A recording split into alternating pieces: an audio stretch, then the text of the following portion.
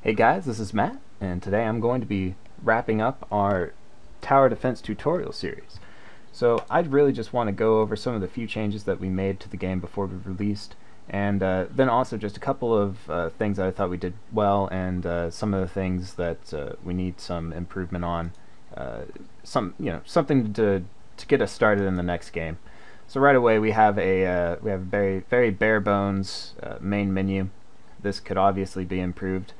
Uh, I I like the parallaxing effect from one uh, from one area to another. That's something that we might uh, bring back in something later. We added a tutorial button just to give a, a quick overview of how to play the game. Uh, this could be a lot better. I'm really not a big fan of having these slideshow types of tutorials. I think a, a much better way to do a tutorial would be to uh, integrate it into the gameplay itself so that's something to keep in mind as, as we move forward. And going into the game, we have a uh, we have a little tower spire here, fiery spire, that indicates where the enemies are going to be traveling to. I would have liked to have something over in this corner to show where the enemies are spawning from, but uh, we didn't. We didn't. I didn't really find any graphics that I liked for that and you see whenever these enemies die that uh, you have a little plus two plus two.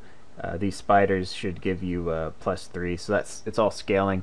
We did a lot of um, a lot of balancing before we released it to make sure that it was uh, not too easy not too hard. Uh, let's see. I really liked this graphical interface. Minus ones. I like that the you get to see what wave is coming up next through this. It's very colorful. You also get a pretty good idea uh, of what towers you have to select. And also, uh, you know, an options and send waves button, I think were integrated pretty nicely. Options uh, could have a few more things on it, but that's okay. One thing that I think would have been better is if we could have displayed the stats of the turrets, you know, a name of what these upgrades do of what they are and what they do. Uh, that would have been good. We had uh, a lot of confusion whenever we showed this to people. Uh, you know, they didn't know what these what these towers could do or or anything. So that's something to consider. We need to uh, somehow display information to the user uh, in a concise manner. But that's about it.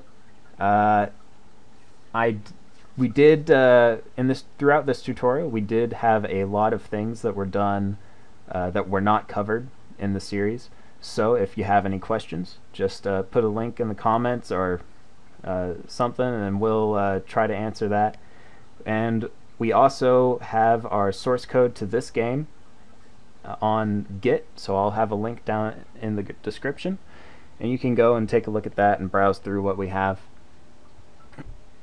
and so we're going to be starting a new game. We plan on doing a shooter on rails similar to uh, Star Fox. It's going to be targeted at uh, mobile devices like this one, uh, but instead of using uh, controllers, you know, a controller like a uh, little joystick over here to control the, the, the ship movement, we plan on using the gyroscope of the device in order to move the ship left, right, and adjust the altitude.